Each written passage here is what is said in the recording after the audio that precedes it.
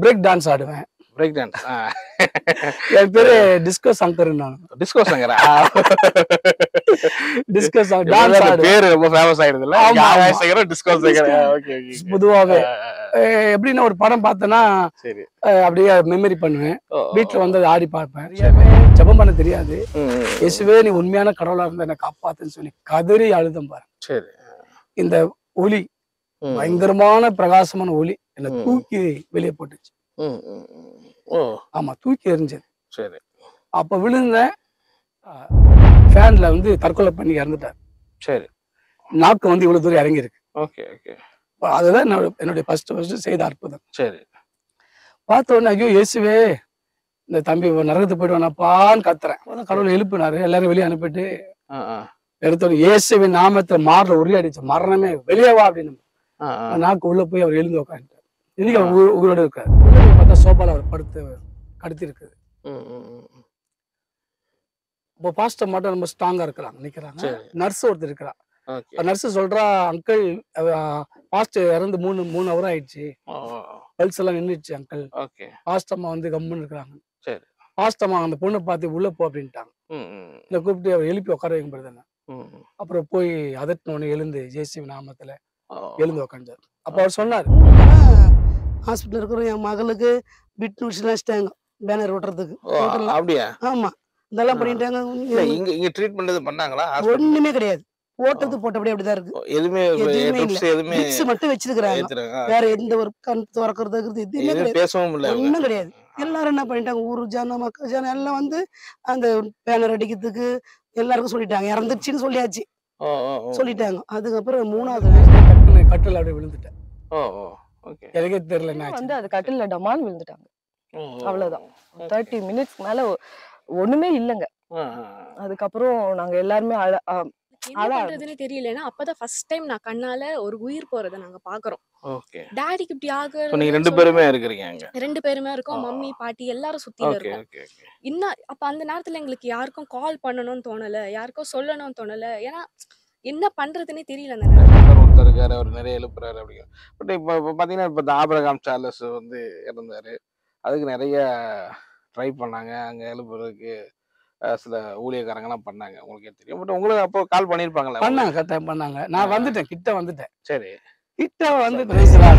நல்லா இருக்கீங்க நல்லா இருக்கேன் சௌக்கியம். ரொம்ப நன்றி பிரதர் உங்களுடைய அப்பாயின்மெண்ட் எங்கள் சேனலுக்கு கொடுத்ததுக்கு. தேங்க்யூ பொதுவாக வந்து இந்த பேர் ஆகாஷ் சங்கர் அப்படின்னு அந்த பேர் வந்து பார்த்தீங்கன்னா நிறைய கிறிஸ்தவ வட்டாரத்தில் நிறைய ரவுண்டிங்ல இருக்கிறத பார்க்க முடியுது.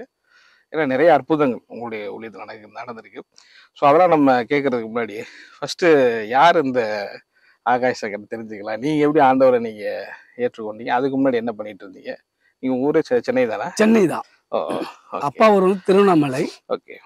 நான் பிறந்தது சென்னை தான். சென்னையில் பிறந்தீங்க. என்ன பண்ணிட்டு இருந்தீங்க? எனக்கு பெயிண்டிங் ஆர்டிஸ்ட் வேலை செய்துட்டு ஆர்டிஸ்ட் வேலை ஓ சின்ன வயசுல இருந்தே சின்ன வயசு படிச்சோம் தமிழ் மீடியம் தான் படிச்சோம் சரி சரி சரி. படிச்சுட்டு அப்பா ஃபோர்த்து படிக்கும்போது இறந்துட்டாரு. Okay okay. இப்போ இறக்கும்போது பல கடன் பிரச்சனை அம்மாவுக்கு. சரி அப்போ படிப்பு அதிகமா போக முடியல. சரி. வேலை செய்துக்கிட்டு. சென்னையில இருந்து எனக்கு தெரிஞ்சு நான் செய்யாத வேலையே கிடையாது. ஓ அப்படியா? அப்ப படிச்சது நீங்க ரொம்ப குறைவு தானே குறைவுதான். குறைவு வீட்டுல நீங்க ஒரு பையனா இல்ல? இல்ல மொத்தம் நாங்க ஏழு பேர். ஓ ஏழு பேரா? ஏழு நான் ஏழாம் ஊர். ஓ ஏழாவது நீ கடைக்குட்டி ஆமா. பூர்ணம். சரி சரி. அப்ப அப்படியே நீங்க ஃபுல்லா வேலை தான் சின்ன வயசுல சின்ன வயசுல படிச்சுட்டு அதுக்கு மேல போக முடியாதனால எல்லா வேலையும் சென்னையில தானே வேலை ஓகே. எப்படியாவது அம்மாவுடைய கண்ணீரை துடைக்கணும் கஷ்டத்தை போக்கணும். சரி. அப்படி சும்மா வீட்டுல நான் சும்மா இருந்தது. கிடையாது. அப்போ உங்களுக்கு ஆண்டவர்லாம் முன்னாடி தெரியுமா? தெரியாது, அப்போ ஃபுல் ஆண்டவர் தெரியாம அப்படியே வாழ்ந்து ஆமா ஆமா. எந்த வயசு வரைக்கும் அப்படி இருந்தீங்க? எனக்கு தெரிஞ்ச அப்பா வந்து கடவுள் இல்லைன்னு தாங்களே வளர்த்தார். ஓ அப்படியா? எங்க வீட்டுல வந்து சாமி போட்டோ எதுவுமே இருக்காது. ஓ ஆத்திகரா வந்திருக்கீங்க. ஆமா அப்படிதான் வளர்க்கப்பட்டோம். சரி. அப்பா இறந்த பின்பு அம்மா வேலை செய்வாங்க அண்ணன் வேலை செய்வோம் நான் வேலை செய்வோம். எவ்வளவு வருமானம் வந்தாலும் வீட்டுல நிக்காது. சரி. என்னுடைய பிறப்பு பார்த்தீங்கன்னா அம்மா சொல்ல குறை பிரசவம் குறை பிரசவம் பிறந்த போது இந்த என்னுடைய முது பண்றது நீர் எடுத்திருப்பாங்க. பொதுவாக என்ன "அந்த நீர் எடுத்த குழந்தை வந்து ரொம்ப நாளைக்கு உயிரோடு இருக்காதுன்னு சொல்லுவாங்க. எனக்கு எனக்கு கருத்து தெரிஞ்ச வரைக்கும் மாத்திரை ஊசி போடாம இருந்ததே கிடையாது. ஆமா. சின்ன வயசுல இருந்து மாத்திரை போட்டு அம்மாவுக்கு நம்பிக்கை கிடையாது. என்னுடைய ரெண்டாவது அக்கா தான் டாக்டர் டாங்க கொண்டு போய் என்னை காப்பாத்தி சரி. கொண்டு வந்தாங்க. ஓகே. அப்படியே வளர்ந்து வரப்போது எனக்கு தெரிஞ்ச வரைக்கும் ஏதாவது வீசிங் ஏதாவது ஒரு பிரச்சனை வந்துகிட்டே இருக்கும். ஏதோ ஒரு உடம்புல இருந்துன்னு இருக்கும். நான் போடாத மாத்திரை கிடையாது பார்க்காத டாக்டர் கிடையாது. அப்படியே போயிட்டு தான் இருந்தேன்.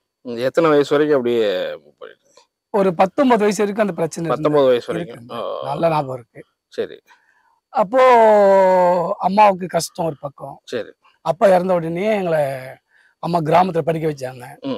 அது சில சூழ்நிலை நிமித்து மறுபடியும் சென்னைக்கு வந்துட்டேன். சரி சரி. சென்னைக்கு வந்து அப்படியே படிச்சாலும் படிப்பு ஏறல வீட்டுல பிரச்சனைகள். ஒருவேளை சாப்பாடு கஷ்டம். அப்பா இருந்தப்போ உங்க வயசு என்ன சொன்னீங்க? நான் இப்போ வந்து ஃபிஃப்த் படிக்கிறேன். ஃபிஃப்த் படிக்கிறீங்க. அப்பயே அப்பா இறந்துடுறாங்க. அதுக்கப்புறம் உங்க லைஃப் ஆமா. எப்போ ஆண்டவரை தெரிஞ்சுக்கிட்டீங்க? எந்த ஏஜ்ல பத்தொன்பது வயசு ஆண்டவர் தெரிஞ்சு. இந்த பத்தொன்பது வயசுக்கு முன்னாடி உங்க லைஃப் எப்படி இருந்துச்சு? என்ன மாதிரி? அது இந்த பிரேக் டான்ஸ் ஆடுவேன். பிரேக் டான்ஸ் என் பேரு டிஸ்கோ சங்கர் நான் டிஸ்கோ சங்கரா டிஸ்கோ ஆடுவேன். பேரு ரொம்ப ஃபேமஸ் ஆயிடுது இல்ல. சங்கரா டிஸ்கோ சங்கரா ஓகே ஓகே பொதுவாவே. அஹ் எப்படின்னா ஒரு படம் பார்த்தேன்னா அப்படியே மெமரி பண்ணுவேன். வீட்டுல வந்து ஆடி பார்ப்பேன். சரி. சென்னையில எங்க ஒரு ப்ரோக்ராம் இருந்தாலும் அங்க டான்ஸ் ஆடி பசங்க எடுத்து போயிடுவாங்க. அப்படியே இருக்கும்போது ஆனாலும் வருமானம் வந்தது. சரி. ஆனா நிம்மதி இல்லை. அப்போ மணி என்ற ஒரு ஒரு முனிவர் அவர் சொல்லலாம். வைத்தியர். அவர் வந்து வீட்டுக்கு வந்து சொன்னாங்க இது போல அவர் வீட்டுக்கு வந்தாருன்னா என்ன பிரச்சனை சொல்லிடுவார் நான். அப்போ வீட்டுல வந்து அவர் என்ன பண்றாரு? தாய் பாசை உருட்டுறாரு சரி. அதை பார்த்து சொல்றாரு உங்க வீட்டுல பில்லி சுனிங்குதுன்ட்டு போயிட்டாரு. ஓ சரி. எங்களுக்கு வந்து பேய் பிசாசு சாமியே இல்லைன்ற குடும்பம் அது. பேய் பிசாசு என்னன்னு தெரியாது. அப்பதான் நானே ஒவ்வொரு கோவிலுக்குள்ள போக ஆரம்பிச்சேன். எப்படியாவது இந்த சனியம் போகணும் சாபம். போகணும் ஆனா உங்களுக்கு அந்த ஒரு நம்பிக்கை நம்பிக்கை. வந்துருச்சு. அவரு வந்து சொல்லிட்டாரு எங்க வீட்டுல பிசாசு இருக்குது. அப்படின்ட்டு போனாரு. ஆனா அது பரிகாரம் சொல்லாம போயிட்டேன் ஓ, இப்ப நானாக தான் ஒவ்வொரு நாளும் ஒரு இந்த சென்னை என்எஸ் போஸ் ரோடு சுப்பிரமணிய கோயில் சொல்லுவாங்க. இந்த கோயில் எங்கெல்லாம் ஒரு அங்கெல்லாம் கோயிலுக்கா போய் பார்த்து போயிட்டே இருக்கும்போது தான் என்னுடைய நண்பன் ஒருவர் மோசஸ்ன்னு சொல்லி. சரி. அவர் வந்து இயேசுவை பத்தி என்கிட்ட சொல்றாரு. சுத்தி சுத்தி வர்றாரு. நான் என்ன மோசஸ்ன்னு. இல்ல ஆண்டவர் ஏத்துக்கோ. நீ நல்லா இருப்பப்பா அப்படின்ற சரி ஏ இப்பப்பா நல்லா இல்லையான்னு கேக்குறேன். ஓகே ஓகே இல்ல அந்த சாமியில ரத்தத்தை கேக்குது. இவர் வந்து ரத்தத்தை கொடுத்தாரு உயிரை கொடுத்தாரு சரி. அப்படின்னு. நான் என்ன சொன்னேன்னா எனக்கு வருமானமே இந்த கோவில் வருமானம் தான். இல்ல அவன் சொன்னான். நான் கோவப்பட்டு வந்துட்டேன். அவர் பின்னாடி சிரிச்சுட்டே வந்தார். இயேசுநாதர் உனக்கு இப்ப தேவைப்படாம இருக்கலாம். நீ எப்போ கூப்பிட்டாலும் உனக்கு உதவி செய்வார் அப்படி. ம், ம். அவர் சொல்லி ஒரு மாசத்துக்குள்ள என்னுடைய ரெண்டு கால் கண்ணு யார் பார்த்தாலும் ஏதோ உருவம் தெரியும். ஆனா யாருன்னு தெரியாது. ரொம்ப முடியாம ஆயிட்டேன். ஓ ரெண்டு மாசத்துக்குள்ள. ஆமா அவர் சொல்லி ஒரு மாசத்துக்குள்ள. ஒரு மாசத்துல ரொம்ப முடியாம இருந்தேன். சரி. நான் வீட்டுக்கு நான் சொல்லல.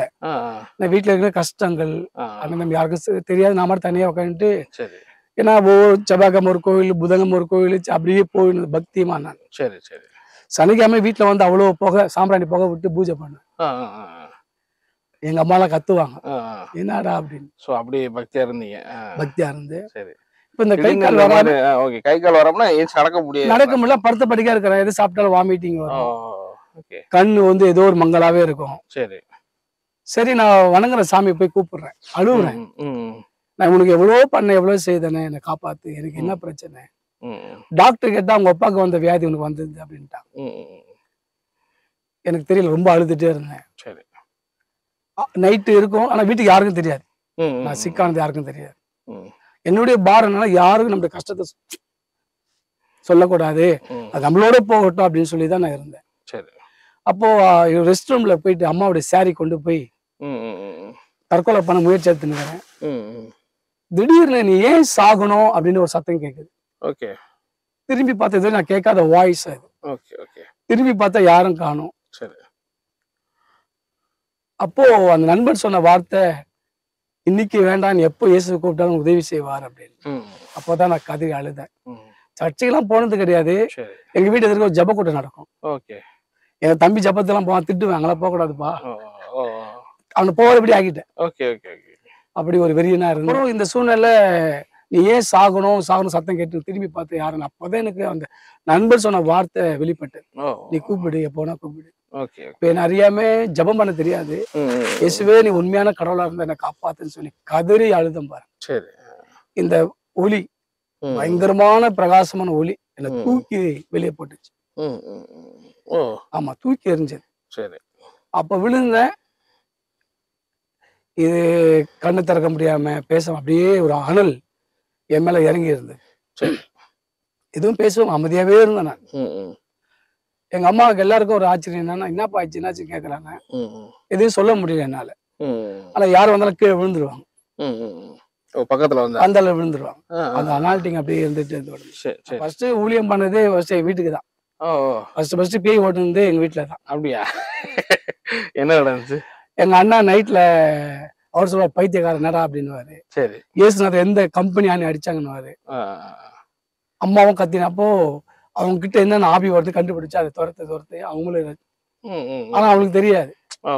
ஃபர்ஸ்ட் எங்க வீட்டுல தான் கல்லூர் சொல்லி கொடுத்தா இந்த ஆவி எப்படி வரும் எப்படி துரத்தணும் அப்படின்னு. Okay okay. ஃபர்ஸ்ட் பயிற்சி. சரி. ரெண்டாவது இப்ப இருக்கிற ராஜீவ்காந்தி ஹாஸ்பிட்டல்ல தான் சண்டேனா ஃபுல்லா அங்கதான் இருப்பேன். சர்ச்சு முடிஞ்ச உடனே. ப்ரேயர் முடிச்சுட்டு அங்க போய் ஃபுல்லா நோயாளி நான் போற பேஷண்ட்ல பாத்தீங்கன்னா எய்ட்ஸ் நோய் கேன்சர். அப்பயும் ரொம்ப பேர் ஹீல் ஆகி இப்ப பாஸ்ட் ஆகுறாங்க அவங்க ஓ அதர் ஹீல் அந்த டைம் ஆமா ஓகே ஓகே. ஸோ நீங்க நீங்க சொல்றது அந்த இருபது இருபத்தி ஒரு வயசு ஆமா இருபது ஆமா அப்படி ஸ்டார்ட் ஆயினு. எனக்கு தெரிஞ்ச ரசிகை சும்மாவே இருந்தது இல்ல சரி சரி. நல்லா தூங்குவேன். ஆ ஆ. ரசிகை ரசிக்கப்பட்டு தூக்கமே போயிடுச்சு. மூணாவது தான் தூக்கம். ஓகே. அப்படியே ஆயிடுச்சு. சரி இப்படி உங்க காலம் கடந்து போகுது. அப்புறம் என்ன நடக்குது? அப்புறம் ஒரு மாதிரி பைபிள் படிச்சிருக்கேன் வீட்டுல. படிக்கட்டுல படிச்சுட்டு இருக்கிறேன். சரி. திடீர்னு ஒரு சத்தம் கேக்குது. எல்லாம் சத்தம் போட்டு கத்தின்னு ஓடுறாங்க. என்னன்னு பார்த்தா ஒரு தம்பி அவர் பேர் சக்தி. சரி. ஏதோ கடன் பிரச்சனை போலீஸ் அவரை தேடுறாங்க. யாரும் சேடு கிட்ட பணம் வாங்கிட்டாருன்னு சொல்லிட்டு ம். என்னன்னு போய் பார்த்தா ஃபேன்ல வந்து தற்கொலை பண்ணி இறந்துட்டார். சரி. நாக்கு வந்து இவ்வளவு தூரம் இறங்கி இருக்கு ஓகே. ஓகே அதுதான் என்னோட என்னுடைய ஃபர்ஸ்ட் ஃபர்ஸ்ட் செய்த அற்புதம். சரி. பார்த்த உடனே ஐயோ இயேசுவே இந்த தம்பி நரகத்துக்கு போயிட்டு வேணாப்பான்னு கத்துறேன். சரி. அழுவுறேன். ஓ.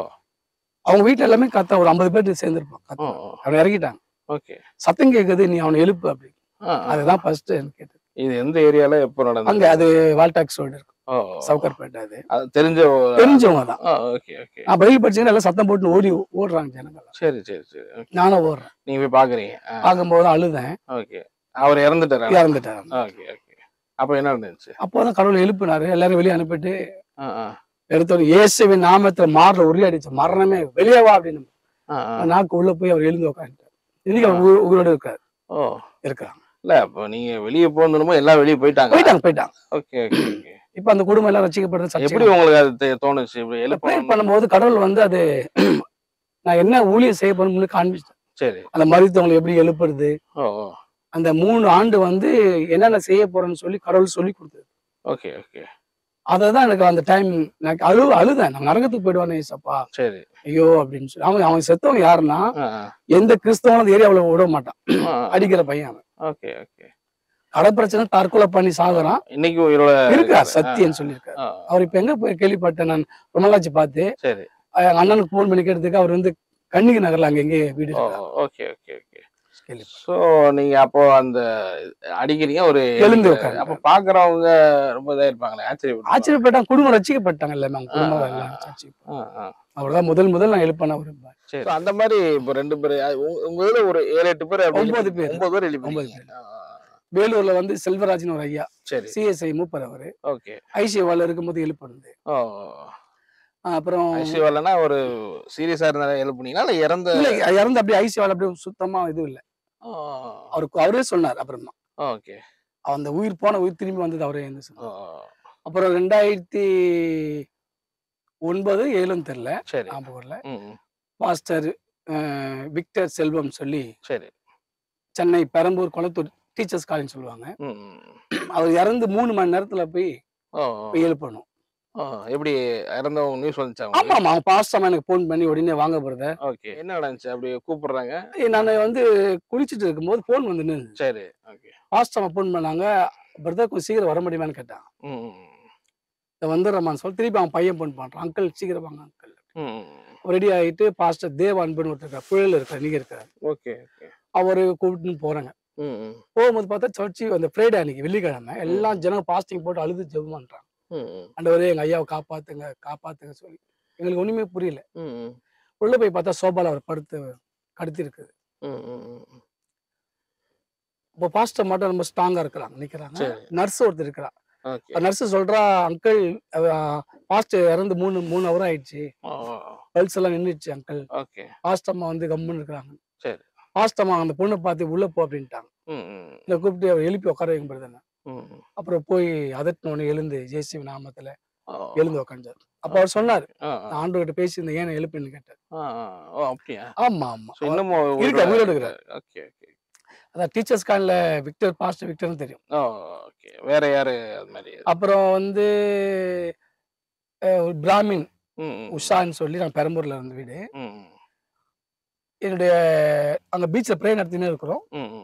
நடந்து கொண்டு வரும்போது எங்க அந்த ஆன்ட்டியுடைய கணவர் போன்ல வந்து எங்க மிஸ்ஸஸ் லைன்ல வராங்க. நைட்டு ஒரு பன்னெண்டு மணி இருக்கும். சொல்லுங்க அங்கிள் என்ற அப்புறம் எங்க மிஸ்ஸஸ் வாய்ஸ் கேட்டு. என்னம்மா நான் இது போல ஆன்ட்டி இறந்துட்டாங்கப்பா. அங்கிள் அந்த குடும்பம் அப்படின்னு. அங்கிள் அந்த குடு பேசிட்டே இருக்கிறேன் அவங்க சொ- அழுதாரு. ஆன்ட்டி போயிட்டாங்க. என்னாச்சு அங்கிள். இல்ல இறந்துட்டாங்க. போன காதல் அது இறந்துட்டாங்களா என்ன காதல் வைக்க சொல்றீங்கன்னு கேக்குறேன். வைங்க அங்கிள் சொல்லி அந்த அங்க பீச்ல இருந்து கமெண்ட் பண்ண போன்லயே. எழுந்து உட்காந்துட்டாங்க ஆனா அவங்க என்ன சொல்றாங்கன்னா ஜீசஸ் நான் பார்த்தேன். ஓகே. என் கையை வந்து அவர் பிடிச்சிருந்து சொன்னாராம். என் பையன் உங்களை நடத்துவான். ஓகே. என்னை நம்பு மகள்னு சொல்லி அனுப்பி. அந்த வீட்டுக்கு நான் போகும்போது வீடு ஃபுல்லா ஒரு அனலாவே இருந்தது. அவங்க எங்க எந்த ஊர் சொல்றீங்க? அவங்க வந்து சென்னை பெரம்பூர் அவங்க எழுப்புனது வந்து சென்னையில எழுப்புனது. ஓ இன்னும் உயிரோட இருக்காங்க, கூட சகோதரி அவங்க எழுப்புனேன்னு சொன்னீங்கல்ல. உயிர் மறிச்சாங்க. அதை பத்தியான ஒரு. என்ன நடந்துச்சு அன்னைக்கு இன்சிடென்ட் அப்படி அவங்க பாஸ்டர் வந்து எனக்கு ரொம்ப வேண்டியப்பட்ட சகோதரர். ஓகே ஆஷன்னு சொல்லி பாஸ்டர்ல பாஸ்டர் இருக்காரு. சரி சரி ஓகே அவங்க சித்தப்பா பழக்கம். ஓகே அப்போ இவங்க வந்து விபிஎஸ்க்காக ஈசிஆர் எங்க போயிருக்காங்க. சரி. ரோடு கிராஸ் பண்ணும்போது கார் அடிச்சிட்டாமனு செய்தி வந்தது. அப்போ அவர் எனக்கு கூப்பிடுறாரு அங்கிள் வர முடியும் பாஸ்டர் சீக்கிரம் அப்புறம் அவங்க அம்மாவே எனக்கு கால் பண்ணாங்க. ஓகே அது என்னாச்சு சொன்னா வாங்க நீங்க வாங்க. இந்த பிள்ளைய நான் விட்டுட்டு போயிட்டோமா? சரி. என் குடும்பங்களை ஏத்துக்காது. அப்போ போனோம். சரி. போகும்போது உள்ள போகும்போது டாக்டர் எங்களை விடல ஜெபிக்க விடல. சரி. வெயிட் பண்ண அதான் விடல ஆனா வாட்ச்மேன் சொல்றாரு கொஞ்சம் வெயிட் பண்ணுங்க பாஸ்டர். அந்த ஆள் மூலியமா தான் உள்ள போறோம். பார்த்தா அந்த பிள்ளைக்கு வந்து ஜீவனே இல்ல. சரி. அப்புறமே கட்டவரை பிடிச்சி அதட்டினேன். அப்பயே ஜீவன்லனா நீங்க டாக்டரே வந்து ஜீவன் போயிடுச்சுட்டாங்களா இல்ல டிக்ளேர் பண்ணல அந்த மாதிரி? அது வந்து அவங்க வந்து உயிர் இல்லை அப்பா பார்க்கும் ஜீவனுக்கு கிடையாது. சரி சரி. எலுமெல்லாம் உடஞ்சி தான் படுக்க படுக்க வச்சிருக்காங்க. Okay okay. ஒரு கோமா ஸ்டேஜ்ல ஆமா, இருக்காங்க, உயிர் கிடையாது. ஓகே மீதி அவங்க அம்மா கட்டாயம் சொல்லுவாங்க சரி அங்க போன உடனே அவங்க என்ன சொல்லிட்டாங்க முடிஞ்சிடுச்சுமா இது நீங்க எடுக்க ஒன்றும் பண்ண முடியாது. நீங்க பணம் செலவு பண்ணா கூட தூக்கின்னு போங்கன்னு சொல்லிட்டாங்க. என்ன என்ன சொன்னாங்க? என்ன முடிஞ்சுன்னா அவங்க இந்த இந்த கால் பாதி கிடையாது சார். இந்த உடஞ்சி இதுல சொருவி இருக்குது. கால் சொருவி இருக்குது. கடவுளுடைய கிருபை நரம்பு எந்த கட் ஆகல. இந்த கால் இங்க இது உடஞ்சி இதுல சொருவிட்டு இருக்கு. இங்க ஒரு உடைப்பு. இங்க ஒரு உடைப்பு இது ஒரு உடைப்பு இது உடைப்பு. நனவு போயிடுச்சு. காதுல ரத்தம் வருது மூக்குல வருது வாயில வருது. நீங்க பாக்குறீங்க? ஆமா. கடைசியா என்ன காட்டணும் கூட்டிட்டு போறாங்க. கடைசியா போய் இப்படி தொட்டு பாக்குறேன். என் பொண்ணுடைய பாதி கால் இல்லைன்னு. அதுக்கப்புறம் இல்லைங்க போஸ்ட் மாசம் பண்ணும்போது அது சரி பண்ணிடுறாங்கன்னு சொல்லிட்டாங்க எதிர்க்கவே சொன்னாங்க. சரி அதோட வந்து சரிங்க நாங்கள் கூட்டின்னு அனுப்பிச்சிட்டாங்க. வேனில் வச்சு நாங்கள் கூட்டின்னு வந்தோம். கூட்டின்னு வந்து சிம்மியா நகர் வந்து சிம்மியா நகர் பிரிட்ஜ் இருக்கு அங்கே வந்து கூட்டின்னு போனோம். அங்கே எனக்கு சரி அங்கே என்ன சொல்கிறாங்க அங்கே போனால் எதுக்குங்க தூக்கிட்டு வர்றீங்க? இது முடிஞ்சிச்சு தூக்கின்னு போங்கன்னுட்டாங்க. எங்களுடைய என்னுடைய விசுவாசம் ம். அம்ச்சிக்கரையில் தூக்கின்னு போனோம். அங்கேயே முடிஞ்சிச்சு தூக்கின்னு போங்கன்னு சொல்லிட்டாங்க. அதுக்கப்புறம் இல்ல, சபையில் இறந்துருச்சு இதுக்கப்புறம் வேண்டாம். சொல்லிட்டாங்க.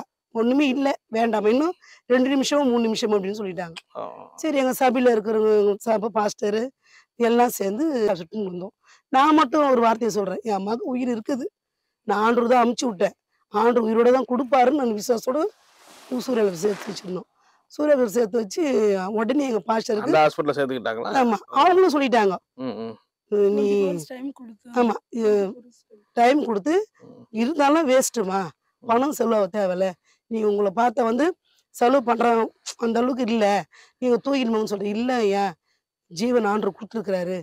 நீங்க வெய்யுங்கன்னு சொல்றேன் அப்பனா இருங்கன்னு சொல்லி வச்சிருந்தாங்க. அப்புறம் எங்க பாஸ்டருக்கு நான் ஃபோன் சொல்றேன். அப்பா இந்த மாதிரி நம்ம ஐயாவுக்கு ஃபோன் பண்ணீங்களா எங்கள் ச சங்கரையாக்கு ஃபோன் பண்ணியானே இல்லைம்மா நாங்கள் ஃபோன் பண்ணிட்டோம். அவருக்கு இன்னும் அழைப்பு வரலையா? அவர் சட்டாலும் வரமாட்டாரு.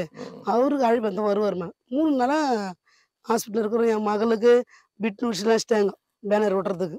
அப்படியா? ஆமா. இதெல்லாம். பண்ணிட்டாங்க. இங்க இங்க ட்ரீட்மெண்ட் பண்ணாங்களா? ஒண்ணுமே கிடையாது. ஓட்டது போட்டபடி அப்படிதான் இருக்கு. எதுவுமே எதுவுமே மட்டும் வச்சிருக்கிறாங்க. ஏத்துறாங்க. வேற எந்த ஒரு கண் திறக்கிறது எதுவுமே பேசவும் இல்ல ஒண்ணும் கிடையாது. அதுக்கப்புறம் இந்த பிட் நோட்டீஸ் அடிச்சிட்டாங்க யார் அடிச்சிட்டாங்க? உங்க ஏன் சொந்தக்காரங்க எங்க சொந்தக்காரர்? சொந்த பந்தமா? எல்லாம் இந்துக்கார குடும்பம். இதுல நான் ஒருத்தி தான் ரொம்ப ஆண்டவர் தேடி இருக்குது எல்லாரும் என்ன பண்ணிட்டாங்க? ஊரு ஜனம் மக்கள் ஜனம் எல்லாம் வந்து அந்த பேனர் அடிக்கிறதுக்கு எல்லாருக்கும் சொல்லிட்டாங்க. இறந்துச்சுன்னு சொல்லியாச்சு. சொல்லிட்டாங்க. அதுக்கப்புறம் மூணாவது நாள் ரெண்டாயிரத்தி பத்துல ஏப்ரல் பன்னெண்டுக்கு அடிபட்டுச்சு. பன்னெண்டுக்கு. பதினாறாம் தேதி நான் உட்காந்துக்கிறேன் டாக்டர் என்ன கூப்பிடுறாங்க. அந்த சூரிய கூட்டு முடி நான் அப்புறம் இன்னும் எங்க பாஸ்டர் எல்லாம் உள்ள போனோம். அம்மா நீங்க உங்க நம்பிக்கை தான் நாங்க இந்த ரெண்டு நாள் வச்சிருந்தோம். சரி. நீங்க நீங்க உ- நாங்களும் கடவுள் தான் கும்பிடுறோம். நீங்க இவ்வளவு நம்பிக்கையா சொல்ற ரெண்டு நாள் வச்சிருந்தோம். இதுக்கப்புறம் வேஸ்ட்டுமா நீங்க தூக்கின்னு போயிடுமான்னு சொல்லிட்டாங்க. இல்ல ஐயா என் பொண்ணு உயிரோட இருக்குது அவங்க வாதாடுறேன் இல்லம்மா முடிஞ்சிச்சு எதுக்கு வச்சிருக்கிறீங்க? ம், நீங்க எந்த பணமும் கட்டதால தூக்கி அப்புறம் உட்காந்து ப்ரேயர் பண்ணு நான் ப்ரேயர் பண்ணும் போதெல்லாம் என் கண்ணுக்கு போஸ்ட் மாசம் தான் பண்ணி கொடுக்கறது தான் நான் பார்த்துன்னு இருக்கிறேன். ஒரு வார்த்தை ஆண்டவர் கொடுக்குற வார்த்தையை படிச்சிருந்து அதுக்கப்புறம் ஐயா ஏழு மணி அவங்க டைம் கொடுத்துட்டாங்க. வந்து உட்காந்து ஐயா வந்துட்டார். ம், ம், எங்க ஐயா வராரு. எங்க ஐயா வந்து எனக்கு ஒரு பெரிய எனக்கு வந்து என் மகன் வந்துட்டான்ற ஒரு நம்பிக்கை எனக்கு வந்துருச்சு. ஐயா வராரு. நான் ஐயா பார்த்தோன்னா ஒரு தகப்பனை பார்த்த மாதிரி நான் அந்த நேரம் அழுதேன் ஐயா பார்த்து ம், ஆகாய சங்கர் ஐயா பார்த்து அழுதேன். உடனே அவர் என்னை இப்படி தட்டி நீ அழுதா ஜெயிக்க மாட்டேமா நீ அழாத. சொன்னாரு. "ம், சரிங்க ஐயான்னு சொல்லிட்டு நீ அழக்கூடாது. நீ கண்ணீர் விட்டேன்னா ஜெயிக்க மாட்டேமா நீ அழாதனாரு. அதுக்கப்புறம் சரின்னு நிக்க வச்சுட்டு உள்ள யாருக்கும் அனுமதி கிடையாது. ஐயா போறாங்க விடல ம். கொஞ்ச நேரம் பொறுத்தா ஐயா போறாங்க. ஐயா போகும்போது ஐயா ந- ரெண்டு பாஸ்டர் போறாங்க. ஐயாவும் போறாங்க. அன்பு பாஸ்டர் ரெண்டு பேரும் போறாங்க. கூட ஒருத்தர் போறாங்க. எனக்கு நல்லா ஐசி வார்டுக்கும் அந்த- இந்த ஓரம் தான். இவ்வளோ டிஃப்ரென்ஸ் ஒரு பத்து அடி கூட இருக்காது. அப்புறம் மூணு பேரா உள்ள போறாங்க. உள்ள போயிட்டு கொஞ்சம் ஒரு பத்து நிமிஷத்துல ஐயா வெளியே வராங்க. வரும்போது ஐயா கேக்குறேன் ஐயா என்னங்க ஐயா நீ உங்களை கூட ஒருத்தர் வந்தாரே. அவரை காணுமேன்னு கேக்குறேன் ஆ, உடனே ஐயா சொல்றாரு அவர் பார்த்துட்டு ரெண்டாருமா? எங்களை போக சொல்லிட்டாரு. இனி எங்களுக்கு வேலை இல்லை. அவர் பார்த்துரு ஐயா இப்போ வந்து வெளியில வந்து கார் ஏறினாங்க. ஏறினு டாக்டர்களை கூப்பிடுறாங்க. கடகன்னு வந்து கூப்பிடுறாங்க. இதுக்கு முன்னாடி என்ன சொன்னாங்கன்னா உன் மக கோமா ஸ்டேஜ் போயிட்டா சுத்தமா. கண்ணும் திறக்கல. எந்த சுயனும் எதுவுமே கிடையாது. நீங்க தூக்கிட்டு போறது தான் பெஸ்ட். நீங்க இருந்து தேவையில்லாத கஷ்டப்படக்கூடாதுன்னு சொன்னாங்க. ஐயா வந்து உள்ள போனாரு பாருங்க. வந்த உடனே கடகன்னு டாக்டர் வந்து ஆ. அம்மா என்னம்மா நீ இவ்வளோ கடவுள் பக்தியா இருக்கிற? நாங்களும் டாக்டர் தான். நாங்களும் கடவுளை கூப்பிட்டு தான் நாங்க உள்ள வரோம் ம், ம், இவ்வளோ நம்பிக்கையா சொல்றீங்களே? கண்ணை திறந்துட்டா உன் மக கண்ணை திறந்துட்டா. போய் பாருங்கன்னு போனா அப்பதான் கண்ணை திறந்து இந்த கண்ணு சொயிட்டு பாக்குறேன் அந்த பார்க்கும் போது ஒரு குரல் அம்மான்னு என்ன கூப்பிடுற குரல் எனக்கு கேக்குது. உடனே என்ன பண்ணிட்டாங்க அஞ்சு ஆப்ரேஷன் முப்பது உயிர் வந்துருச்சு. ஐயா உள்ள போயிட்டு வந்தோடனே உயிர் வந்துருச்சு. டாக்டர் என்ன சொன்னாங்க டாக்டர் அவங்களும் ஆச்சரியப்படுறாங்க. இப்பவும் எங்களுக்கு அது ஆயிடுச்சு பதிமூணு வருஷம் ஆயிடுச்சு. இப்போ நிறைய ஹாஸ்பிட்டல் போனா ஜீசஸ் குடும்பம் தான் கூடுவாங்க எங்களை. எங்களை எல்லாருமே வாங்கம்மா உங்களை பார்த்தோமா நாங்க இன்னும் அதிகமா ஆண்டர் அதே மாதிரி நீங்களும் ஒரு தடவை இறந்ததா ஆமா. ரெண்டாயிரத்தி இருபதுல. என்ன ஆச்சு உங்களுக்கு? என்ன ஆச்சுன்னா திடீர்னு ஜுரம் வர போல இருந்தது சரி. ஜுரம் வந்து திடீர்னு பிளட் வாமிட் எடுக்கிறேன். ஏன்னா ரொம்ப பாஸ்டிங் இருப்பேன். ஆறு மாசம் மூணு மாசம். ஓ ஓ ஓ ஓ. வீட்டுல ரொம்ப மனைவி ரொம்ப கஷ்டப்படுவோம் சரி. பாஸ்டிங்னா வரத்துக்கு வல்லமைகளாம் இல்லை. ம், ம். தனியா உட்காந்து கடவுளோட பேசணும் அப்படின்ட்டு ஒரு இதுல அப்படியே மறந்து ஓகே ஓகே. அப்போ ரொம்ப முடியாம இருக்கும்போது தான். வீட்டுக்குள்ள வந்து பேசினே டக்குன்னு கட்டில் அப்படியே விழுந்துட்டேன். ஓ ஓ ஓகே. எனக்கே தெரியல என்ன ஆச்சுன்னு தெரியல. சரி. அப்ப யாரு வீட்ல உங்க என் மனைவி என் பிள்ளைங்க வந்து ரெண்டு எனக்கு அவங்க சொல்லி கொடுக்குறாங்க. வீட்டுல இருக்கும்போது ப்ரேயர் எப்படிலாம் பண்ணணும்னு சொல்லி கொடுக்கும் சரி. அதை வச்சு அவங்க ப்ரேயர் பண்ணி எழுப்பிட்டு இருக்காங்க. ஓ, காலையில ரெண்டு நாள் அவருக்கு ஃபீவர் இருந்துச்சுங்க. சரி அன்னைக்கு ஃபுல்லா நாங்க ப்ரேயர் பண்ணிட்டு இருக்கோம் வாமா ப்ரேயர் பண்ணலாம் அப்படின்னுவாங்க. இப்பவும் அப்படிதான். நான் கிச்சன்ல இருந்தா கூட திடீர்னு லீடிங் ஆச்சுன்னா வாமா ப்ரேயர் பண்ண சொல்லுவார். நான் அப்படியே வச்சுட்டு ப்ரேயர் பண்ண போயிடும். நாங்க. ஃபேமிலியா இப்பவும் அப்படிதான். அன்னைக்கு ஃபுல்லா ப்ரேயர் பண்ணிட்டே இருக்கிறோம். ஒரு ஒரு பத்து மணிக்கு நான் கிச்சனுக்கு போறேன். அப்போ ஸ்டெல்லான்னு என்னை கூப்பிட்டாரு. ஓடி வந்து பார்த்தா இது பாருமா கால் பாருமான்னு அந்த கால் அப்படியே இவ்ளோ பெருசா அப்படியே பல்ஜ் ஆயிடுச்சுங்க. அப்படியே. அப்படியே வந்து அப்படியே பெருசாயிட்டே வருது அது அப்படியே.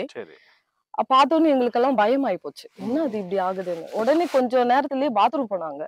அங்க வந்து பிளட் வாமிட் அப்படியே ஃபுல்லா அந்த சோஃபா ஹால் எல்லாம் பிளட் வாமிட் அப்படியே கட்டி கட்டியா. அது எங்களுக்கு என்னன்னே புரியல. என்ன திடீர்னு திடீர்னு. அந்த மாதிரி ஆயிடுச்சு. அதுக்கப்புறம் கொஞ்ச நேரத்துல அவருக்கு ஒரு மூணு மணி நேரம் போராட்டம் நடக்குது. கை இழுக்குது கால் இழுக்குது தலை சுத்துது என்னென்னவோ பண்ணுது. எங்களுக்கு ஒண்ணுமே புரியல.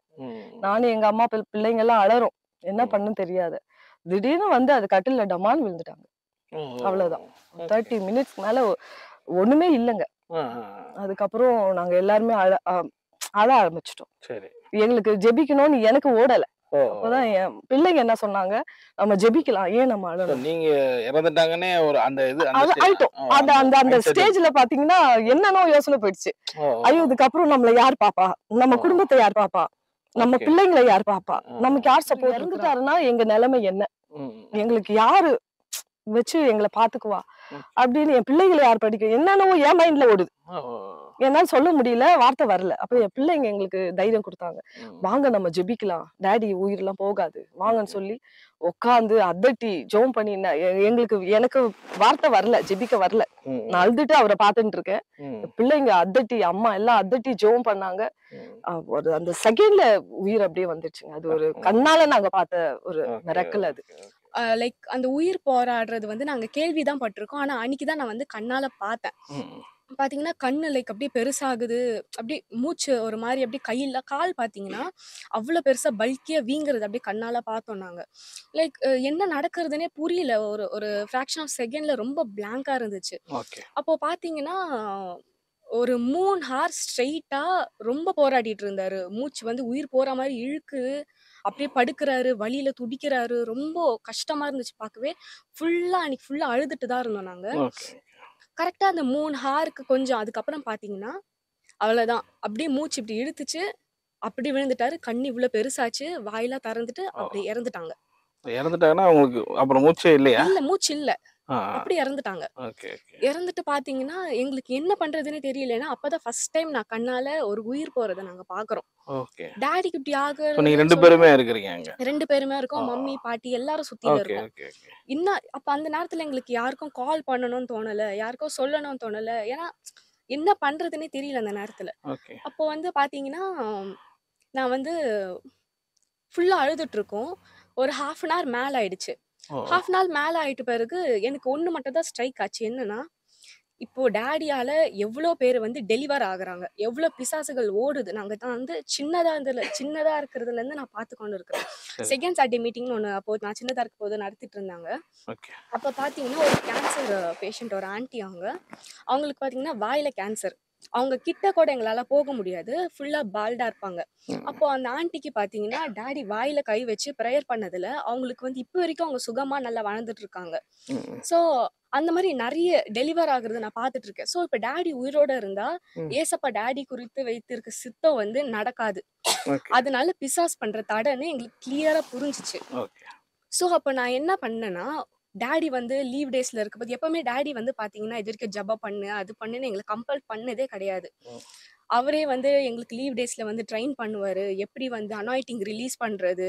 கிரேஸ்னா என்ன நியாயப்பிரமாணம் என்ன அது இந்த மாதிரி ஊழியம் செய்யணும் எப்படி ஒருத்தவங்க ட்ரீட் பண்றது எப்படி வந்து ரியாக்ட் பண்ணணும் ஒருத்தவங்க எப்படி பேச போது எப்படி இருக்கணும் அது எல்லாமே கிளியரா டாடி சொல்லி தருவாரு ஸோ அந்த இடத்துல எங்களுக்கு வந்து ஒரு உயிர் போனா எப்படி எழுப்புறது? எந்த எப்படி பிசாஸ் கூட டீல் பண்றது? அந்நிய பாஷனா என்ன? எல்லாமே சொல்லி கொடுத்துருக்காரு. அப்போ வந்து சரி ஏசப்பா வந்து நம்மளையும் வந்து நம்மளுக்கு நம்மளுக்கு இந்த இடத்துல ஏசப்பா வச்சிருக்காருன்னா கண்டிப்பா நம்மளுக்கு குறித்த ஒரு சித்தம் இருக்குன்னு தெரியுது எனக்கு. அந்த இடத்துல நான் என்ன பண்ணேன்? நானும் பிளஸையும் கை வச்சு ஒரு அதட்ட அதட்டி அந்நிய பாஷையில பேசி நீங்க கொடுத்த உயிர் ஏசப்பா. இது வந்து பிசாஸ்க்கு எடுக்க அதிகாரம் கிடையாதுன்னு நாங்க ஜெபம் பண்ணோம். ஜெபம் பண்ணி வித்தின செகண்ட் அப்படியே உயிர் வந்து எழுந்து டேடி உட்காந்ததை நாங்க கண்ணால பார்த்தோம். எழுந்துட்டாரு எழுந்துட்ட பிறகு டேடியே சொல்றாரு இந்த மாதிரி எனக்கு வந்து உயிர் போனதை நான் பார்த்தேன். ஏசப்பா வந்து பிடிச்சி உள்ள விட்டதை நான் பார்த்தேன்னு டேடி எங்களுக்கு சொல்றாரு. அதுக்கப்புறம் பாத்தீங்கன்னா லைக் பாட்டி அப்புறம் மம்மியோட சாட்டிஸ்ஃபேக்டரிக்காக நாங்க ஹாஸ்பிட்டல் வந்து போயிட்டு இருந்தோம். அங்க பாத்தீங்கன்னா டேடிக்கு வந்து கிட்னி ஃபுல்லா போயிடுச்சு. லங்ஸ் ஃபுல்லா ஃபெயிலியரு அப்புறம் வந்து சியாட்டிக்னு சொல்லிட்டு ஒரு நியூ ஏதோ ஒரு டிசீஸ் சொன்னாங்க. அதனால காலு நர்வ் ஃபுல்லா அஃபெக்ட் ஆயிடுச்சு. அது. பாத்தீங்கன்னா பிரெயினுக்கும் ஹார்ட்டுக்கும் போகிற நர்வ் அது. அது. ஃபுல்லா வந்து அஃபெக்ட் ஆயிடுச்சுன்னு சொல்ல போது ஒண்ணுமே புரியல. டாக்டர் சொன்னது பாத்தீங்கன்னா மூணு மாசம் தான். ஓகே. அதுக்கு மேல வாய்ப்பே கிடையாது. ஏதோ மூணு மாசம் கூட நிறைய ப்ராப்ளம் வரும். அது கூட ஏதோ கொஞ்ச நாள் இருப்பாரு இறந்துருவாரு. மைக் எடுக்க கூடாது பேசக்கூடாது அவர். இதுதான் டாக்டர் கொடுத்த ரிசல்ட் ரெண்டாயிரத்தி இருபதுல டுவெண்ட்டி டுவெண்ட்டி நடந்தது வந்து May thirtieth okay okay twenty twenty எக்ஸாக்டா இந்த மந்த் டூ இயர்ஸ் பேக் அப்போ டாக்டர் சொல்லிட்டாங்க சொல்லிட்ட. பிறகு ஆனா டாடி வந்து அந்த மருந்து மாத்திரை சைடோ சரி அந்த ஹோப் அந்த ஃபெய்த் வந்து டாடி விடல எங்களுக்கும் தெரியுது இது வந்து நடக்காத ஒரு காரியம். சாக சாவு வந்து ஏன்னா அவர் சாகிறதுக்கு வாய்ப்பே கிடையாது ஏசப்ப கொடுத்த ஜீவன் இது அப்படி. சாகணும் இருந்துச்சுன்னா டாடி சின்னதுல இறந்துட்டு இருப்பாரு ஏன்னா. டாடி வந்து அவர் சொன்ன மாதிரி பாத்தீங்கன்னா லைக் அவர் வந்து ரொம்ப பலவீனமா தான் பிறந்தாரு சோ இது வந்து ஏசப்ப கொடுத்துருக்க ஜீவன் எங்களுக்கு தெரியுது. சோ நாங்க வந்து ப்ரேயர் பண்ணோம். ப்ரேயர் பண்ணிட்டு பாத்தீங்கன்னா இப்போ ரெண்டு வருஷம் ஆகுது. இன்ன வரைக்கும் எந்த பலவீனமும் இல்ல. டாடி நல்லா ஊழியம் செய்யறாரு ஓகே. அதுக்கப்புறம் தான் பாத்தீங்கன்னா எத்தனையோ பேர் வந்து டெலிவர் ஆனாங்க. இப்போ கூட Okay. ரீசெண்டா டாடி சொன்னாரு அந்த. மகன் வந்து டுவெல்த் படிக்கிறவங்க இருந்தாங்க. நிறைய விஷயங்கள். அப்பதான் எங்களுக்கு புரிஞ்சுச்சு இதெல்லாம் வந்து நடக்க கூடாதுன்னு சொல்லிட்டு பிசாஸ் பண்ண ஒரு சதி. அப்படின்னு சொல்லிட்டு தான் ஸோ தெரிஞ்சுச்சு இந்த மாதிரி ஒரு ஒன்பது பேர் நம்ம ஆமா இருக்கு ரைனா இருக்கு பட் நிறைய நான் உங்களை பத்தி கேள்விப்படும் போது நிறைய இந்த நியூஸஸ் இப்போ உங்க பேர் அடிக்கடி சங்கர் ஒருத்தர் இருக்காரு அவர் நிறைய எழுப்புறாரு அப்படிங்கிற. பட் இப்போ இப்போ பார்த்தீங்கன்னா இப்போ இந்த ஆபிரகாம் சார்லஸ் வந்து இறந்தாரு. அதுக்கு நிறைய ட்ரை பண்ணாங்க அங்கே எழுப்புறதுக்கு சில ஊழியக்காரங்கலாம் பண்ணாங்க உங்களுக்கே தெரியும். பட் உங்களுக்கு அப்போ கால் பண்ணியிருப்பாங்களே பண்ணாங்க கட்டாயம் பண்ணாங்க. நான் வந்துட்டேன் கிட்ட வந்துட்டேன். சரி. கிட்ட வந்துட்டு என்னுடைய மனைவி கால் பண்ண ஒரு ப்ரேயர் ரூம்ல இருக்கேன் நான் ப்ரேயர் ஒரு ஃபைவ் ஹவர் ப்ரேயர்ல இருக்கிறேன். சரி. ஜெபம் முடிச்சுட்டு நான் கிளம்பும் போது ஒரு கால் வருது. ஓகே. அப்போ எனக்கு வந்து அந்த லீடிங் இருக்கு. அவர் எலும்பாருங்க லீடிங் இருக்கு. சரி. ஆனா எங்க மிஸ்ஸஸ் கால் பண்றேன்.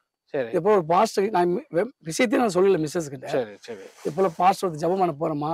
ஜெபம் பண்ணலான்ட்டு நானும் அவங்களும் டங்ஸ்ல ஜெபம் பண்றோம். அப்ப அவன் சொல்றான் குறுந்தாடி வச்ச ஒரு யாரோ ஒரு பாஸ்டர் வந்து எலும்புறாருப்பா பெட்டி விட்டு எலும்புறான்றான் சரி. நான் அவங்க விஷயத்தையும் சொல்லல. சரி. என்னப்பாச்சு நாங்க போறேன்னு கேக்குறான். ஓகே. நான் போயிட்டு வந்து சொல்றேன் சரி. கிட்ட வந்த உடனே ஒரு கால் வருது. பிரதர் நீங்க காலையில வர முடியுமா? ஓ. நீங்க வர வர வேண்டான்னு. வரவேணான்னு தெரியல. காலைல வர முடியுமா? ரூம் பூட்டிட்டாங்க அப்படின்ட்டாங்க. இல்லைன்னா அவரு எப்படியே இப்ப எழுப்பி நீங்க எங்கெல்லாம் வந்து லீடிங் படி எழுப்ப ஆமா, போனீங்களோ அங்க leading எழுப்பிருக்கீங்க எழுப்பி வந்து. எழுப்பாம இருந்தது இருக்கான்னு கேக்குறேன். அப்படி ப்ரேயர் பண்ணி எழுப்பாம இருந்தது இல்ல? அப்படி போனது இல்லையே நானு. ஓ. நீங்க லீடிங்கா போகவே மாட்டீங்க. ஆபராம் சார் லீடிங் இருந்தது. சரி. அது சொன்ன உடனே அப்படியே மறுநாள் வந்து ஜெபம் பண்றது சொன்னது யாரு? சும்மா அங்க உள்ளவங்க யார்? சொன்னாங்க தெரியல எனக்கு. அதான் அவங்க யாருன்னு தெரியாது. ஆனா வேண்டாம்னு சொல்லிட்டாங்களா? வரவேணாம் இல்ல நாளைக்கு வர முடியுமான்னு கேட்டாங்க. அப்பயே அந்த இது உங்களுக்கு மனசு ஒரு மாதிரி ஆயிடுச்சு. ஆபராம் சார் கேள்விப்பட்டுக்கிறேன் வீடியோல பாத்துக்கிறேன். அவர் தொடர்பு இல்ல. பட் அது எழுப்பி இருந்தீங்கன்னா பெரிய பெரிய மிராக்கிள் தான். என்னாச்சு யாரோ ஒருத்தவங்க இருந்திருக்கிறாங்க. யாருன்னு தெரியல. ஓகே ஸோ இந்த மாதிரி இப்போ பார்க்குற வியூவர்ஸ் நான் உங்கள்கிட்ட கேட்குறது தான் இப்போ குழந்தைகள் வந்து இறக்குறாங்க. நிறைய உங்களை கான்டாக்ட் பண்ணுறாங்க இளைஞர்கள் இறக்குறாங்க. அதெல்லாம் உங்களை நம்ம எழுப்பிடலாமான்னு கேட்குறேன் அதெல்லாம் வந்து ஃபெய்த்தில் லீடிங் இருக்கணும். ம் ம், அது என்னன்னா இப்போ பேதுரை கூப்பிடுறாங்க எழுப்புறதுக்கு. சரி. ஒரு பெண்ணை ஒரு முட்டி போட்டு ஜோம் பண்றாரு பாருங்க ம் முழங்கால் படிட்டு ஜோம் பண்ணி தான் இப்ப அந்த பெண் எழுப்புற. ம் ம், இப்போ யாவீர் வந்து கூப்பிடுறான். ம். மறிச்சு போறான். வர வராரு ஆண்டவர். ம் ம். அவன் சொல்றான் அங்க வீட்டுல இருந்து வந்து சொல்றாங்க அவரை விட்டுட்டு வருத்தப்படுத்தாரு ஏன் சொல்றாரு நீ விசுவாசம் உள்ளனா இருன்னார் ம். நீ எந்த வார்த்தையோட என்ன கூப்பிட்டியோ அந்த வார்த்தையோட அப்படியே இருந்த ம். எனக்கு தெரிஞ்சு ஏன்னா ரெண்டு விஷயத்த நான் கண்டுபிடிச்சிட்டேன். நான் எழுப்பின ஒவ்வொரு காரியம் பார்த்தா ஒண்ணு அவங்களுக்கு ஃபெய்த் இருக்கணும். அவங்களுக்கு ஒரு அவன் கட்டாயம் இருக்கணும். இப்போ பாஸ்டர் விக்டர் செல்வம் அவர் வந்து பாத்தீங்கன்னா அவங்க மிஸ்ஸஸ்க்கு நல்லா ஃபெய்த் இருந்தது. அப்படியே அப்படியே மிலிட்ரி போல் நின்றுந்தாங்க பாருங்க. அந்த லேடி சொல்றா நர்ஸ் சொல்றா அங்கிள் அவரு பல்ஸ் நின்னுச்சு ம். மூணு ஹவர் ஆயிடுச்சு ஆனா அந்த அம்மா சொல்றா நீ உள்ள போ ஏந்து போ. ம், எழுப்புங்க படுத்தாரு ம், ம், யாவே விசுவாசமா இருன்றார். அவ என்ன சொன்னா அவன் கையை வந்து வையும் அப்போது அவர் ஆரோக்கியமாகும் அதே போல ஏசு அவ அவ என்ன சொன்னானோ அதை வச்சுதான் அவர் எழுப்புறார். ம், ம், ஃபெய்த் தான். அவங்களுக்கு கூப்பிடுற அவங்களுக்கு ஃபெய்த் இருக்கணும். லேட்டஸ்டா வந்து நீங்க சொல்றபடி ஞாபகம் வருது. ம், அப்போலோல ஒருத்தர் கூப்பிட்டாங்க. அவங்க வந்து நாகர்கோவில் அனுப்பல ம். அவர் ஜீசஸ் கால்ஸ் ஊழியம் பண்ணி வயசானவர் தான். பைக்ல போய் விழுந்து கோமால இருக்கார். ஓகே. அப்ப என்னை கூப்பிட்டாங்க. இது போல உங்களை பத்தி கேள்விப்பட்ட பொழுது அப்பாவை எழுப்பிட்டுங்க. ம். ஆனா அவங்க ஃபெய்த் இருந்தது. சரி. கிட்ட போய் கண்ணை மூடி ஜெபம் பண்ணும்போது ஒரு ஏஞ்சல் வந்து பின்னாடி நிக்கிறாரு அவர் பின்னாடி. என்ன விஷயம்னா பூமியில அவன் முடிஞ்சிருது. சரி. நான் சொன்னேன் அவர் அப்பா மூணு நாள் கழிச்சு அவர் எடுத்துக்குவாரு. ஓ அப்படியே நான். சொன்னேன் ஓப்பனா ஆ, சொன்னேன். அவங்க கேட்கல. இல்ல கேரளா இருந்து ஊழியக்கார சொன்னாரு இல்ல அவங்க அப்பா எழுந்து வருவான்னு சொன்னாரு. சரி. சரியில்ல அது எனக்கு தெரியலங்க. எனக்கு வந்த சத்தத்தை நான் சொல்றேன் வந்துட்டேன். அதே போல அவர் மூணு நாள் கழிச்சு இறந்துட்டேன் அந்த மாதிரி சொல்லியிருக்கிறீங்க சொல்லியிருக்கேன் இறந்த இறந்துருவாரு ஆமா. ஏன்னா வந்து நம்ம சுயமா செய்யறது இல்லை இதெல்லாம். ஓகே ஓகே ஓகே இப்ப இயேசு கூட பாத்தீங்கன்னா சொல்றாரு பிதாவே நீ எனக்கு செவி கொடுக்குறபடிங்க சரி. ஏன்னா பிதாவோட கான்டாக்ட் தான். அப்பா. பிள்ளைன்ற உறவுகள் இருந்துட்டாலுமே சரி. இந்த அற்புதங்கள் தானே நடக்கும். ஓகே. பட் நீங்க ஒரு வார்த்தை சொல்றீங்களே இப்ப நீங்க பாக்குற வியூவர்ஸாக கேக்குறேன். இப்ப நீங்க ஒரு அவங்களுக்கு விசுவாசம் இருக்கணும்ன்றீங்க. பட் நம்ம ஈஸியா ஆயிடும்ல. இப்ப நம்ம ஒரு அந்த அற்புதம் அங்க நடக்கலன்னா உங்களுக்கு விசுவாசம் இல்லை நம்ம சொல்றதுக்கு ஈஸியா இருக்கும்ல. அந்த அப்படி ஆயிடாதா? நான் என்ன சொல்றேன்னா ஐயா இப்ப. எது செய்தாலும் ஆண்டு சித்தன் ஒண்ணு இருக்கு. சரி. ஏன்னா சித்தன் அதை எழுப்பிட்டு. சரி. சித்தன்லாம் வெளி ஆமா அது தேவ சித்தன் ஒண்ணு இருக்குது. ஓகே. நாங்க அதை தான் கண்டுபிடிக்கிறது. ஒரு விஷயத்தை நான் பாக்குறேன்னா சரி. தேவ சித்தமா அவன் எழுப்பானா தேவன் மகிமையா இருப்பானா? ஓகே. தேவனா மகிமைப்படமா? ஓகே. அதெல்லாம் அந்த பிதாவோட அந்த கான்டாக்ட்ல ஜீசஸ் எப்படி இருந்தா இருப்பாரு ம் இப்ப குழந்தையா இருக்கும்போது இயேசு வந்து பிதாவுடைய மடியில இருந்தார். ம் புத்திரன் ஆகும்போது பிதா அவரோடு இருந்தார். இது வந்து குழந்தைங்க எழுப்ப முடியாது. புத்திர என்ற தன்மை இருந்தாதான் எழுப்ப முடியும். புரியுது புரியுது. ஸோ அவங்களுக்கு காட்ஸ் வில் இருந்தா பண்ணலாமா. ஊழியர்காரங்க நிறைய பேர் மறிக்கிறாங்க இளம் வயசுல அவங்கள கூட நம்ம எழுப்பிடலாம். ஒரு ப்ரேயர் பண்ணி கூட. அது ஆண்டவர் நடத்துல இருந்தா சரி. லீடிங் இருந்தாலும் பண்ண. முடியும். கட்டாயம் leading. அனாவசியமா எழுப்ப முடியும். எங்களை எப்படின்னு சொன்னா எதுவுமே என்னுடைய விருப்பத்துக்கு செய்யறது இல்ல ஓகே ஓகே ஒரு விஷயம் நடக்கும்போது ஸோ கூட எல்லாமே உங்களுக்கு லீடிங் தான். ஆண்டோட நடத்துறதுக்காக வெயிட் பண்ணி தான் அனாவசியமா. இப்ப நம்ம செய்த நாலு பேர் நம்மளை மதிப்பாங்க. நாலு பேர் இப்ப இத்தனை பேர் எழுப்பிக்கிறோம். இது வரைக்கும் அது நான் மீட்டிங்ல பேசவே மாட்டேன். ஓகே ஓகே எனக்கே லீடிங் இருந்தா அது சொன்னா விசுவாசம் வரணும் போது பேசுவேன். சரி நான் இதை பார்க்கக்கூடிய நிறைய பேர் கூட உங்களை கான்டாக்ட் பண்ணலாம். அதுக்காக நான் சொல்றேன். ஏன்னா. இப்போ வந்து நிறைய இறந்த வீட்ல இருந்து கால் பண்ணுவாங்க. இப்போ எங்களை எழுப்பி இவங்க சொந்தக்காரங்க. அப்படிலாம் வாய்ப்பு அதுக்காக நான் வந்து கேட்கறேன் ஆண்டு நடத்துறதா கட்டாயம் போய் எழுப்பிடலாம். இப்போ லேட்டஸ்டா வந்து ஒரு ஒரு ஏழு வருஷத்துக்கு பேக் நாகர்கோவில் போயிருந்தேன். சரி. அவருக்கு வந்து 75 வயசு ஒருத்தர். ஓகே போன் கேன்சர் கடைசி ஸ்டேஜ் அவரு. ஓகே பிள்ளைங்க வெளிநாட்டுல இருந்து வந்து அவர் பால் ஊத்து வந்திருக்காங்க வாயில. அப்ப என்னை கொண்டு போன பாஸ்டர் ஆமோஸ்னு ஒருத்தர். சரி. அவங்க என்ன சொல்றாருன்னா பிரதர் ஜீசஸ் என்ன சொல்றாரு? கொஞ்சம் கேட்டு சொல்லுங்கன்னாரு. அந்த பெரியவர். என்ன இல்ல நான் மேல போன பரலத்துக்கு ரொம்ப கஷ்டப்பட்டுங்கிறேன் சரி. நான் சொன்னேன் நீங்க சாவக்கூடாது. இன்னும் எழுபது வயசு ஆயிடுச்சுன்னாரு கடவுளுக்கு வயசுல முக்கியம் கிடையாது. அவர் சித்தன் ஒண்ணு இருக்கு. இல்ல நடக்க முடியாது. போன் கேன்சர் ம், ம். நடப்பீங்க சொல்லி கை நீட்டும் போதே அப்பயே அவர் உடம்பு பாடி ஷேக் ஆகி அப்பயே நடந்து ஓடினாருங்க. அப்பயே நல்லா அவங்க பசங்க எல்லாம் அப்படியே ஒரு மாதிரி. என்ன ஒண்ணுன்னா நம்ம இந்தியால மட்டும். எப்படி எப்படி இருக்கும் அந்த அந்த ஒரு உணர்ச்சி. இப்போ என்னன்னா இப்போ நீங்க நிறைய அற்புதங்கள் நம்ம பாக்குறோம் கேள்விப்பட்டிருக்கோம். ஏதாவது கேன்சர் கீழாருது இப்படி நிறைய வருது இல்ல பட் இந்த மலைச்சுவரை உயிரோட எழுப்புறது அப்படிங்கிறது வந்து. இன்னைக்கும் ஒரு பெரிய டவுட்டடா இன்னைக்கு கிறிஸ்தவ மத்தியிலேயே வந்து இருக்கு. இதெல்லாம் உண்மையா இருக்குதா இல்லையா அப்படிங்கிறது. ஆனா பைபிள் நமக்கு போதிக்குது இல்லையா. மருத்துவரை எழுப்புவீங்க அப்படின்னா நீங்க சர்வசாதாரணமா ஒன்பது பேர் எழுப்பிட்டீங்களே. இப்ப இதை பாக்குற வியூவர்ஸே வந்து நிறைய இறப்புல வரமோ உங்களை கான்டாக்ட் பண்ண. கட்டாயம் பண்ணிட்டு நான் பதில். இல்ல அது வந்து எப்படி அது பாசிபிலிட்டின்னு நினைக்கிறீங்களா? ஆக்சுவலி எல்லாத்தையும் அப்படி எழுப்பிட முடியுமா? இல்ல உங்க கூட கேக்குறேன் அது எப்படின்னு. எல்லாரும் எழுப்புனா கடவுள் அது லீடிங் இருக்கும். ஓகே இப்போ ஜீசஸ் வந்து லாசர் வந்து எழுப்பும் போது கூட உடனே வரல. இது வந்து ரொம்ப பேர் கேட்பாங்க. சரி. இது எப்படி பிரதர் எங்களால எழுப்ப முடியுமான்னு. இப்போ எங்களுக்கு வந்து கடவுள் மூணு வருஷம் அந்த ட்ரைனிங் கொடுத்தார்.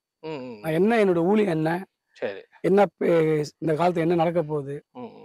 எனக்கு இப்ப தெரிஞ்சது ஒன்பது வந்து கம்மி தான் என்ன என்னுடைய விசுவாசம் என்னன்னா. டாக்டர் நம்மகிட்ட அப்பாயின்மெண்ட் வாங்கணும் ஜெபம் பண்ணுங்க அந்த மாதிரி என்னுடைய ஃபெய்த் அந்த மூணு வருஷம் ட்ரைனிங்னா என்ன உங்க இந்த மருத்துவர் உயிரோட? ட்ரைனிங் ஆமா ஆமா கடவுள் ஆண்டவரே. உங்களுக்கு அது என்ன ரகசியத்தை சொல்லலாமா அதை? சொல்லுங்க தப்பு இல்லையா. என்ன மாதிரி உங்களுக்கு ட்ரைனிங் எப்படி கொடுத்தாருன்னா அந்த வாய்ஸ் கேட்கும் சரி. நான் ஸ்டேஜ் நின்று அந்த பாடி எழுப்புறாப்புல நடக்காத ஓ. விடும் போது நடப்பாங்க. Okay okay. ஓ நீங்க அந்த காட்சியாவே அந்த காட்சி படம் போலியா பேசுறது கிளீனா இருக்கும் வாய்ஸ். அதனாலதான் அப்படியே கடவுளே உருவாக்கம் தான். ஏதோ மீட்டிங் நடந்திருக்கா உங்களுக்கு? மீட்டிங் லைவா பண்ற அப்படிலாம் நடந்து அப்படி எல்லாம் நான் வந்து இப்போ மீடியால வந்ததே ஜெசரியன் மூலியமா தான் இப்போ வந்திருக்கேன். அது ஆல்ரெடி நீங்க சில சேனல்ல கொடுத்துருந்தீங்க இல்ல, இல்ல. சாட்சி எல்லாம் ஏஞ்சல்? டிவில கொடுத்தது. ஆமா சாட்சி கொடுத்துருந்தீங்க. ஆனா இது போல கொடுக்கலையா அவங்க? அப்படியே கப்பு சிப்புன்னு உட்காந்து பேச ஆமா முடியாது. ஆமா அது சொல்லியிருந்தீங்க. பட் இது அப்ப இருந்து நடக்குது இல்ல? இந்த விஷயம் வந்து? நடக்கு நடக்கு. ஆனா அவங்க அது பெருசா எடுத்துக்கலையே. ஓகே அவங்க சாட்சின்னா நீங்க எப்படி இருந்தீங்க அதுதான் கேட்டாங்க. ஓகே ஓகே இந்த அற்புதத்தை பத்தி அவங்க கேட்கல சரி சரி. இல்ல பொதுவா நமக்கு அந்த ஒரு நம்பிக்கை கிறிஸ்தவத்தில் இருந்தாலும் நீங்க ரொம்ப அப்படி அதெல்லாம் பார்க்க முடியறது இல்ல? இப்போ ஒரு கிறிஸ்தவர்களே நம்ப முடியாத அளவுக்கு தான் இருக்கு அது நீங்க ரொம்ப ஈஸியா ஆமா. சொல்ற ஒரு காட்சி. மீடியால இப்பதான் நான் வரேன் நான். ஆ, ஆ, ஆ. ஆகாஷ் சங்கர் எல்லாருக்கும் தெரியும் நான் தான் தெரியாது. அந்த பேரு நிறைய. தாண்டி உங்களுடைய அற்புதங்கள். மருத்துவர் எழுப்புறது அது ஒரு பக்கம் இருக்கு. இன்னொரு பக்கம் பாத்தீங்கன்னா நிறைய அற்புதங்கள் நீ பண்ணிருப்பீங்க உங்க லைஃப்ல அந்த. மாதிரி இதெல்லாம் நிறைய நடந்திருக்குல்ல? இப்போ கேன்சர் ஆமா கேன்சர் அதெல்லாம் ரொம்ப அதிகம். அதுல உங்களால மறக்க முடியாத சில சம்பவங்கள் எது நடக்க நடக்கிறவங்க நடக்காம இருக்கிறவங்க பார்வை இல்லாத அப்படி எல்லாம் நடந்திருக்கா? அந்த மாதிரி நடக்காது நடந்திருக்கு. அந்த வீடியோல இருக்கிற இப்போ ஜீசஸ் கால். சார் போன மாசம் ஒரு வீல் சார் மூணு வருஷம் நடக்காம தூக்கி வந்தாங்க. சரி. தொடும் போதே நாங்க அதுக்கு அதுக்குன்னு கஷ்டப்பட்ட ஜெபம் ஆண்டவர எழுப்பாண்டவர அப்பா அப்படிலாம் ஜெபம் பண்ணுவோம் அந்த ஜெபம்லாம் கிடையாது. நம்ம அதுக்குன்னு இருக்கிறோம். சரி சரி சரி. அதனால தட்டின உடனே அது எழுந்து நடப்பாங்க. ஏதாவது உறுப்புகள் வளரா வளர்ந்துருக்கு. அந்த மாதிரிலாம் அது சொல்லியிருக்காங்க? இது போல எலும்பு வந்து இதுவா இருக்கு ஓகே. கொஞ்சம் இதுவா அந்த கால் நீட்டா நீட்டா இருக்கு. இப்போ ஒரு பையன் லேட்டஸ்டா ஆர்சி சர்ச் அது போயிருந்தோம். சரி சரி. அது செல்போன் வச்சிருப்பாங்க ஓகே அந்த ஸ்கின் ஃபுல்லாவே பிளட் சீவு ரத்தம் வந்துட்டே இருக்கும். பாஸ்டர் சொன்னாரு ஆர்சி ஃபாதர்னு சொன்னாரு. அவர் என்ன சொன்னாருன்னா எல்லா டாக்டர் நானும் போய் பார்த்து டாக்டர் சொன்ன விட்டுடுங்க அவனை. சரிப்படுத்த முடியாது. ப்ரேட் பண்ணி மூணு நாள்ல அந்த ஸ்கின் சேஞ்ச் ஆயிடுச்சு. Okay okay. அந்த பையன் கால் வந்து பெண்டா இருந்தது. என்கிட்ட என்ன ஒண்ணுன்னா கேமராமேன் கிடையாது. நல்லா வந்து எனக்கு டிரைவர் இருக்காரு. நல்லா வந்து வீடியோ எடுத்தாரு. அது போல ரொம்ப மிராக்கள் வந்து ரொம்ப வீடியோ கேட்ச் பண்ணது இல்ல. அதுக்கு வந்து சரி இப்போ கடவுள் வந்து ஏதோ வாச திறந்திருக்கிறான்னு. விசுவாசிக்கிறேன்.